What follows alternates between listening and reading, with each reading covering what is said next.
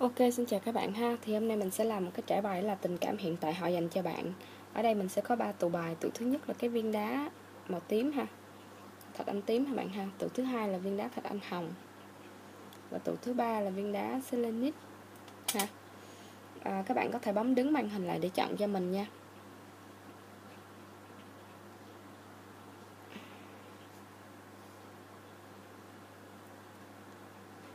Ok và bây giờ mình sẽ đến với cái tụ bài số 1 được chưa các bạn?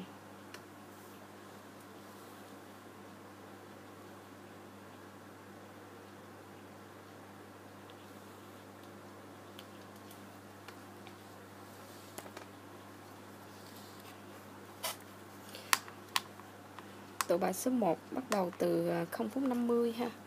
À, ở đây mình sẽ bỏ qua bớt những cái à, à, vấn đề mà mình hay nói cho các bạn biết ha về tình huống về à, những cái sự ảnh hưởng của xung quanh mình chỉ tập trung vô đúng cái tình cảm của người nam này dành cho bạn thôi.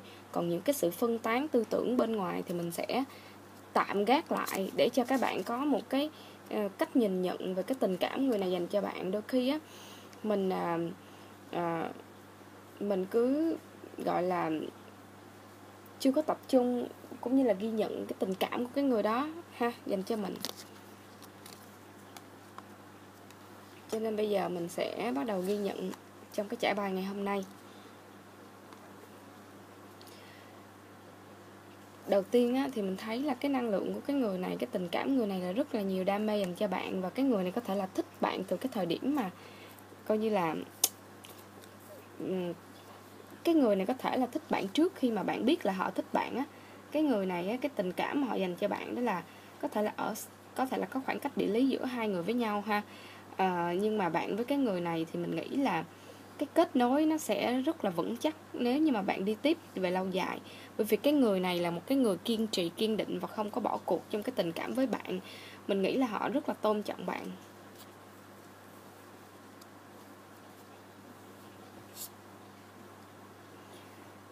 Mình nghĩ là cái người này cái tình cảm họ dành cho bạn đó là họ ao ước được là một phần trong cái gia đình của bạn á.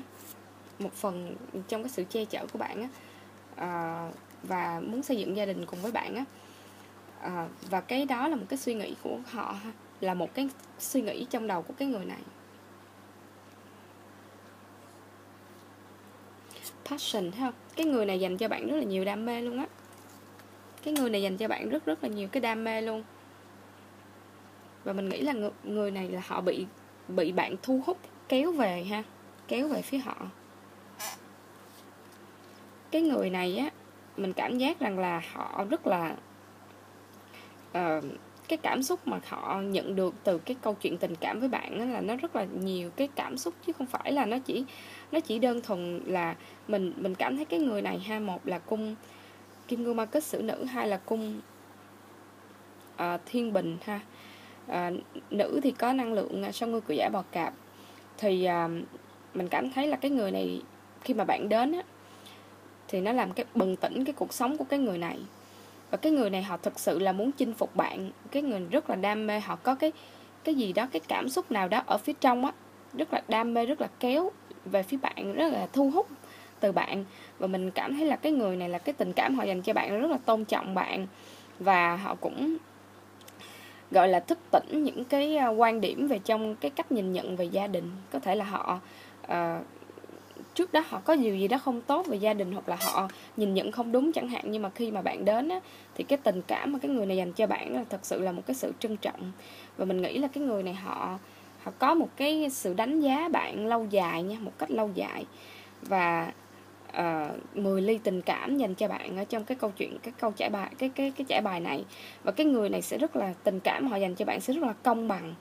Và bạn mà uh, quen người này thì họ thứ nhất là họ tôn trọng bạn cái thứ hai là ờ, uh, song phẳng tiền bạc song phẳng tình cảm thì dành cho bạn rất là trọn vẹn.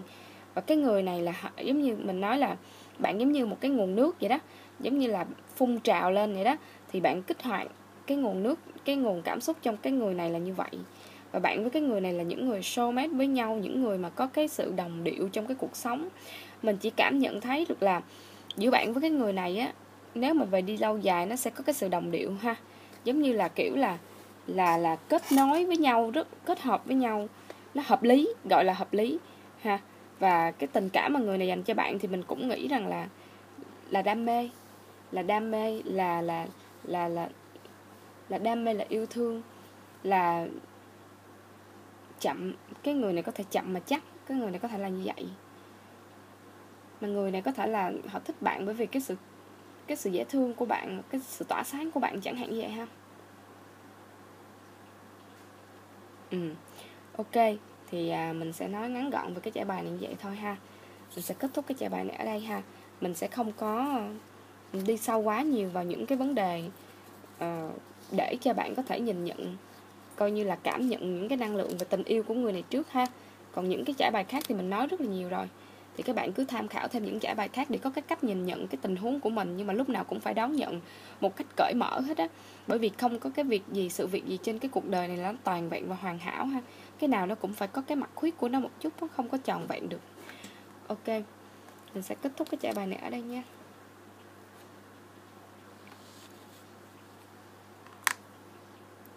Ok tụ bài số 2 sẽ bắt đầu ở 6 phút 16 ha. Ở trong cái ờ, trải bài này mình sẽ nói, tập trung chỉ nói về tình cảm của cái người này dành cho bạn thôi. Mình sẽ bỏ qua những cái vấn đề như là mối quan hệ ba người, những cái vấn đề này nọ kia mà mình nghĩ là bạn đã biết rồi. Mình chỉ muốn bạn là lâu lâu cũng phải cảm nhận được cái cảm xúc tình yêu của cái người này dành cho bạn và lâu lâu cũng phải tập trung vào những cái điều tích cực trong cái tình cảm này. Đôi khi là những, có những thứ mà mình không có thay đổi được thì bây giờ mình tập trung cho những cái điều mà cái người nam này dành cho mình để mà mình có một cái niềm vui và cái sự tích cực trong cái cuộc sống nhiều hơn ha. Ok I miss you. Cái người này rất là nhớ bạn. Share những cái cảm xúc những cái feeling những cái tình yêu cho nhau và có những cái thời điểm những thời khắc bên nhau để mà à, gọi là để mà có nhiều cái niềm tin trong cái tình cảm này. Hoặc cũng như là à, hãy nói cho cái người này biết những cái điều mà bạn mong muốn họ sẽ đáp ứng. Bởi vì cái tình cảm mà cái người này dành cho bạn đó là là à, những cái sự lãng mạn đó là à, gọi là nhìn những cái điểm tích cực trong cái mối quan hệ này nhìn cái sự khách quan trong mối quan hệ này. Có thể bạn là sự chữa lành cho người này có thể bạn là the sun bạn là à, cái ánh mặt trời nè bạn thấy không? Cái ánh mặt trời à, trạng vạn chiều hoàng hôn à, những cái sự lãng mạn những cái sự gọi là à, gọi là thu hoạch những cái hoa trái ngọt ngào cùng cùng cùng với cái người này. Giống kiểu là à, cái gì đó mà mình sống với nhau trang hòa gọi là trang hòa và cái người này cũng cũng họ cũng sẽ gọi là rất là rạch ròi trong cái mối quan hệ tình cảm với bạn đó. Có thể bạn với cái người này thường hay nhắn tin hoặc là nói chuyện với nhau và bạn cũng là một người uh, rõ ràng trong cái câu chuyện tình cảm này. Cho nên cái người này thì họ gọi là sao họ cũng nể bạn nể trong cái cách đối xử trong cái cách đối nhân xử thế của bạn á ha. Rồi tear cleans the show. Có thể cái người này với bạn á là có rất là nhiều cái nước mắt nhưng mà cái cái nước mắt này càng ngày nó sẽ càng rửa trôi đi những muộn phiền và nó càng làm cho cái linh hồn của bạn nó sáng hơn. Bạn sẽ biết được mục đích trong cái cuộc sống này cái linh hồn của bạn ha. There is no time where I am. Time is only on the earth. Nói chung thì mình cảm thấy rằng là đôi lúc đó là cái sự quên lãng đi cái thời gian quên lãng đi cái việc rằng là mình đang ở à, à một cái vị trí cụ thể hoặc một cái thời gian cụ thể nào đôi khi cái điều đó đó nó sẽ làm cho cái mối quan hệ này nó tích cực hơn. Là cái tình cảm của người này là cái những cái sự mong mỏi của họ cũng một phần là như vậy ha. Đôi khi họ nói rằng là uh, uh, nếu như mà em bỏ anh mà mà gọi là em có thể à, bình yên và hạnh phúc á, thì em đừng có đừng có ngại ngùng đừng có đừng có buồn phiền đừng xấu hổ giống kiểu như vậy đó. À, giống giống là như vậy ha nhưng mà mình nghĩ là cái người này họ cũng chịu nhiều cái niềm đau khổ trong cái mối quan hệ này với bạn bởi sự chia cách bởi những cái sự à, những cái cú sốc trong tinh thần. Nhưng mà mình rất là đánh giá cao những cái à, năng lượng của sư tử rất là mạnh mẽ ở đây nha rất là mạnh mẽ luôn. The sun the sun và cái cái gì đó hình ảnh của cái um, uh, sự khởi đầu mới sự sự tích cực sự chung thủy sự trung thành. Cái gì đó hướng về ánh mặt trời cái gì đó lạc quan trong cái tình cảm giữa hai người. Đó cái gì đó là sự đồng hành. Tại vì á, đôi khi á, là à, bạn um, giống như mình không có focus vào không có tập trung vào những cái điểm mà nó chưa tốt nha mình chỉ tập trung vào cái cảm xúc của bạn với cái người này thôi trong cái sự chia cách chia xa hoặc là tạm thời chia xa của hai người á nó làm cho cái nỗi đau trong mối quan hệ này nhiều. Thì cái việc mà kết nối trở lại á, nó cũng là một cái sự khởi đầu nó cũng là một cái điều tích cực nó là cái gì đó nhìn về tương lai. Và cái người này họ là một người cũng là gọi là có trách nhiệm nha họ cũng là có trách nhiệm. Mình nghĩ là cái người này á là có ở đây là có năng lượng của hai người nữ nè. À, à bạch dương mã sư tử và à, và gì đó? À, kim ngưu ma kết sử nữ ha? À, nhân mã nữa sư tử nữa à, bảo bình nữa vân vân. Và mình chỉ cảm thấy là cái người này á, khi mà họ tình cảm mà họ dành cho bạn là họ có trách nhiệm. Ví dụ như là quen là quen lâu á quen là giống như đồng hành lâu dài á. Đó là cái người mà cũng gọi là có đạo đức và có trách nhiệm là một người là một người ừ, có mang một cái cái um, trách nhiệm của một người cha của một người à, cán đáng gia đình ha.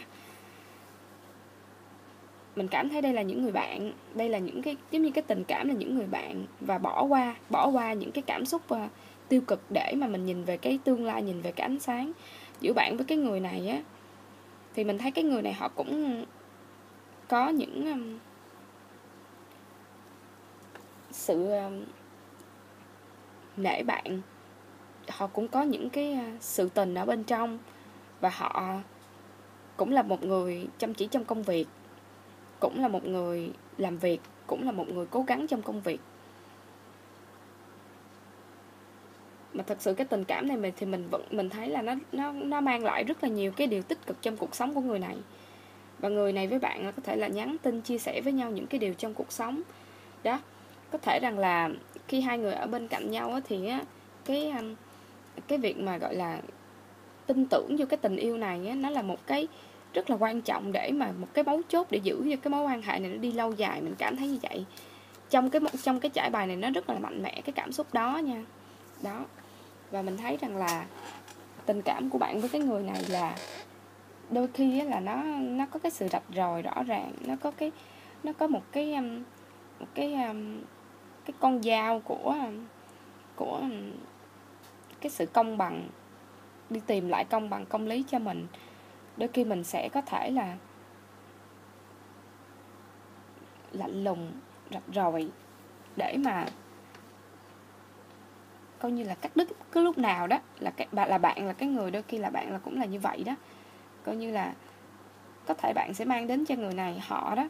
Họ nhìn thấy bạn là có thể là, ok, bạn mang đến cho họ những cái cảm xúc chữa lành những cái tích cực, những cái niềm vui trong cuộc sống, những sự trung thành, chân thật trong cuộc sống với nhau. Đó. Nhưng mà bạn cũng là, chính là cái người mà nếu như mà, gọi là, nếu như mà anh mà không có, gọi là, đối xử với tôi đàng hoàng thì cái việc là tôi sẽ tự đi tìm cái công bằng hoặc là giải quyết cái mối quan hệ này cho cái công bằng cho tôi đó, kiểu là như vậy.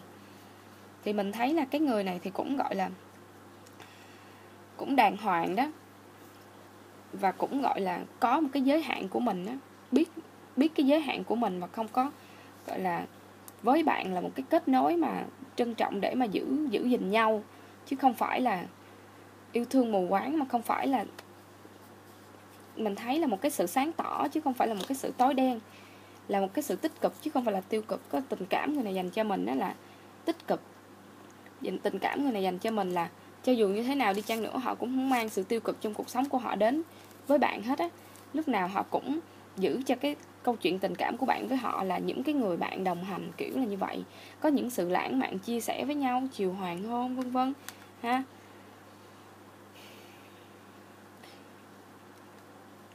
Như ừ ờ, ở xa thì nhớ nhau và cũng cảm thấy bạn giống như là một cái viên kẹo. Nhưng mà cái viên kẹo đó thì, gọi là, nó lúc nào nó cũng mang cái vị ngọt và họ không bao giờ mà họ để cái viên kẹo đó nó tan chảy ra hoặc là để cái viên kẹo đó nó nó nó có nghĩa là lúc nào cũng giữ cho một cái một cái cái kết nối một cái cam kết một cái cái sợi dây một cái mấu chốt cho mối quan hệ này là như vậy. Đó nhưng mà mình nghĩ rằng là cái mối quan hệ này á, tình cảm của cái người này dành cho bạn là rất là trông đợi cái sự tích cực và chữa lành của bạn ha nói chung bạn mang ánh sáng đến cho cái người này. Ok, mình sẽ kết thúc chơi bài này ở đây ha. Tụ bài số 3 sẽ bắt đầu ở à, 15 phút ha. bài số 3 tụ bài số 3 romantic feeling. Romantic change ở đây á, thì mình cảm thấy rằng là cái tình cảm mà cái người này dành cho bạn á cái người này cũng có cái tính lạnh lùng có cái sự lạnh lùng của họ ở đây. I surround by loving anymore is it not your fault? I have a new understanding. Có thể trong cái tình cảm này cái người này họ nhận ra được rất là nhiều thứ về mối quan hệ giữa hai người và uh, họ có thể là họ họ trông đợi một cái cơ hội để comeback để quay lại với bạn. Cái người này là một người nhiều cái cảm xúc nhiều cái tình cảm nhưng mà họ cảm giác bị bỏ rơi và nặng nề trong mối quan hệ này. À, cảm giác của cái sự đấu tranh trong cái mối quan hệ này tình cảm mà họ dành cho bạn là họ nhìn thấy bạn có một cái giá trị riêng của mình. Bạn xứng đáng được yêu thương bạn yêu thương bản thân của mình. À, bạn coi như là giống như là họ nói là cái cái sai lầm trong cái mối quan hệ tình cảm với bạn với họ đó là không phải lỗi của bạn không phải lỗi của người nữ không phải lỗi của bạn. Ha mà lỗi của họ. Đó thì mình cảm thấy rằng là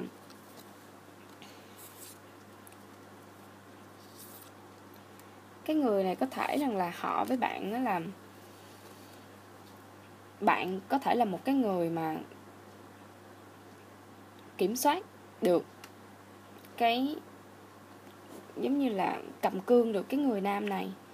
Nhưng mà cái tình cảm mà cái người nam này dành cho bạn á nó là cái sự lãng mạn nó là cái nó là cái um, thật sự là mình cảm thấy là cái điều gì đó mà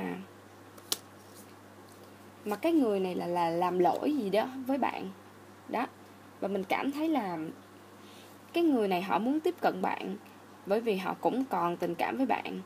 Nhưng mà họ mắc kẹt một cái điều gì đó rất là lạnh lùng với bạn. Nhưng mà coi như là cái là bề ngoài là thể hiện cái sự lạnh lùng hoặc là gia trưởng gì đó. Nhưng mà bên trong thì rất là nhiều cái cảm xúc và rất là trông chờ cái câu chuyện tình cảm này. Là, là người này là giống như mắc kẹt trong cái câu chuyện tình cảm với bạn. Và muốn rất muốn comeback nóng nảy trong người, muốn comeback quay lại trong cái câu chuyện tình cảm với bạn.